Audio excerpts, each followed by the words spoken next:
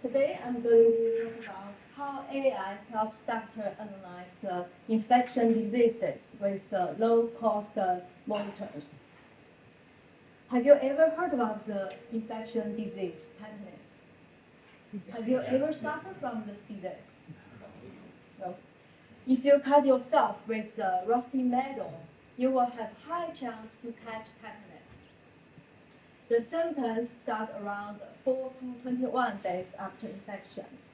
The symptoms include uh, stiffness, muscle spasm, high temperature, sweating, and uh, fast heartbeat.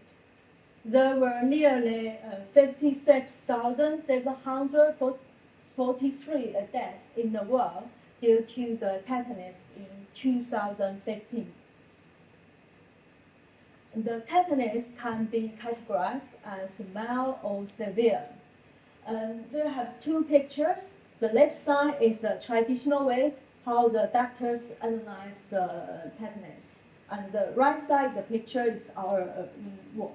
And from the uh, left picture, you can see uh, there are 12 simultaneous ECG and connect to the patient's body and record ECG wave shapes.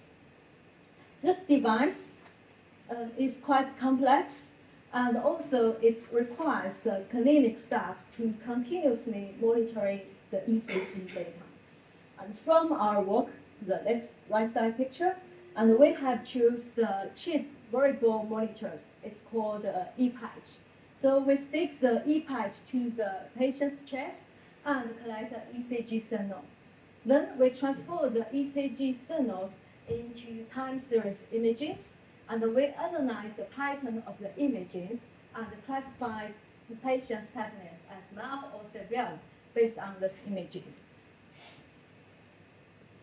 Uh, to better understand my work, I would like to uh, show you my work environment. I have been working to this uh, green building since September 2018. This green building is uh, at the oral campus of our university in Headington. And every day I have an online meeting with my clinic partner in Vietnam to show my work progress.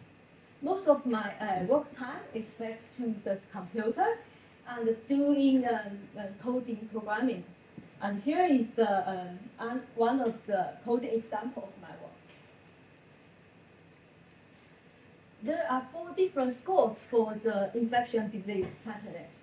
Scores 1 and 2 are mild tetanus. Scores 3 and 4 are severe tetanus. There are um, four different um, ECGs, uh, ECGs to present the different severity level of the tetanus. The ECG records how often the heart beats and how regularly it beats. The mild tetanus have shown the um, slow heartbeat, while the severe tetanus uh, has a fast heartbeat. And this is uh, time series imaging, uh, which is transferred from this uh, ECG signal. From this uh, imaging, you can see uh, the spectrogram and the log spectrogram is another way to look like the ECG data. And here you can see for the severe um, tetanus uh, ECG and the image pattern, and here you can see the pattern is more condensed compared to the uh, tetanus. And here I would like to show you the um, pipeline of my work, which was published recently. From this pipeline, you, you can see we had uh, used a wearable sensor, which is uh, sticks on the patient's chest and collects the ECG signals.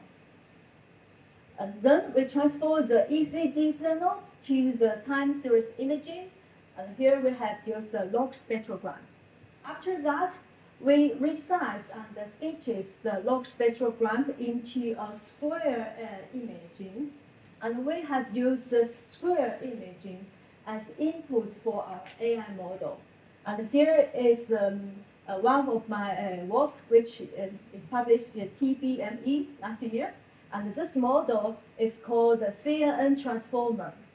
the output of this uh, AI model is a prediction of the tetanus severity. Using my AI model, uh, there is uh, less work for doctor, and it's also freed up bed space in hospital. It will save the patient's life in low and middle income countries such as Vietnam. That's all. Thanks so much for your attention.